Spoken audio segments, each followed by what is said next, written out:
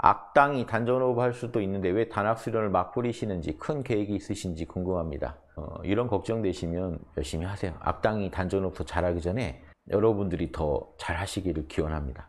악당들도 지금 단전호흡 하고 있습니다. 여러분들 힘내세요. 악당도 단전호흡 하는 시대. 그럴 수 있죠. 유튜브에, 유튜브가 이제 대세가 됐으니까 유튜브에는 오만 정보가 다 올라오거든요. 누구나 활용할 수 있죠. 석가모니 부처님 참나를 부정했나요? 아니요. 석가모니 부처님은 참나를 열반이라고 부르셨을 뿐이에요. 제자들이 뛸 때려 가지고 지금 헤매고 있습니다. 2,500년 정도 헤매고 있어요. 저도 걱정이에요. 석가모니 부처님 보고 나니까 저도 아, 동영상이랑 뭐 많이 남겨서 절대로 못 잊어버리게 해야겠다 생각합니다. 안 그러면 내 가르침을 가지고 오히려 등신짓을 할 수도 있겠다. 내가 오히려 악업을 짓고 구업을 짓고 가는 것이 될 수도 있겠다라는 걸 실감나게 느낍니다. 특히 석가모니 부처님 보면서 많이 느낍니다. 전 세계가 지금 참나를 부정하는데 석가모니 부처님을 자꾸 인용하고 있어요. 석가모니 부처님을 여러분 그 얘기 뭔지 아세요? 석가모니 부처님을 지금 거의 사탄으로 만들고 있는 거예요. 참나 부정에 석가모니 부처님을 동원한다. 얼마나 심각한 구업을 짓는지 사람들이 모릅니다. 나중에 보세요. 어떻게 되나. 100년 안에 어떤 평가가 내려질지.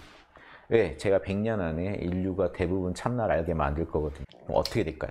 인류가 대부분 참나를 아는 시절에 석가모니 부처님은 어떤 평가를 받게 될까요? 그걸 막으려고 제가 석가모니 부처님은 참나를 얘기하셨다라고 자꾸 주장하는데 그런 저를 계속 욕하더라고요. 불교 쪽에서. 그러든지 말든지 저는 그 사람들 보고 하는 거 아니니까요. 깨어나는 중생들과 석가모니 부처님을 위해서 제가 최선을 다하고 갈 겁니다.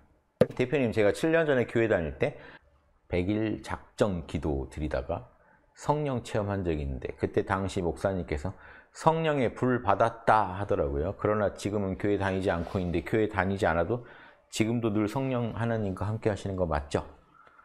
어, 이건 제가 답변할 수 있는 게 아니에요. 지금 성령 느껴지세요? 함께 하시는 건 맞아요.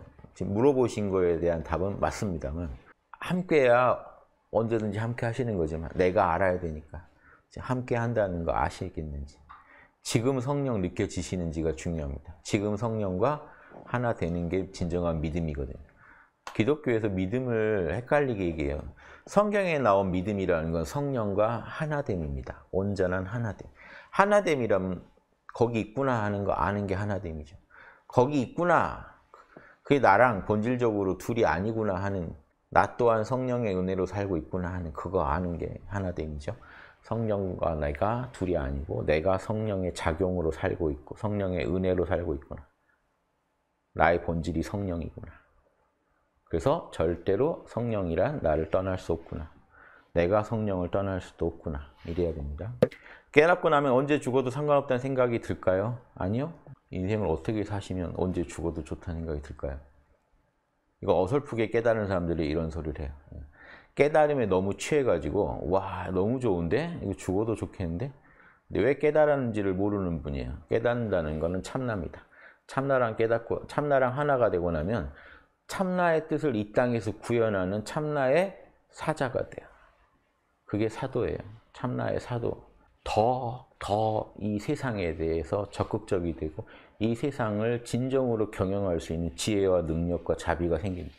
그러니까 언제 죽어도 상관없다는 생각이 드는 게 아니고 같은 말도 이렇게 하면 안 되고 생사에 있어서 초월하게 된다. 이런 표현을 만약에 저한테 얘기하셨다면 제가 맞다고 했을 거예요. 그런데 언제 죽어도 상관없다는 생각이라는 말에는 예, 오해 여지가 많죠. 이런 식으로 표현하지 마시고 생사에 있어서 초연해진다라고 하세요.